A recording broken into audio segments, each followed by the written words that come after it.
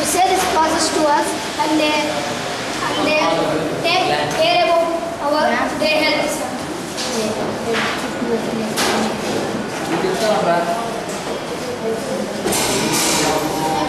Thank you for giving me a lot of time.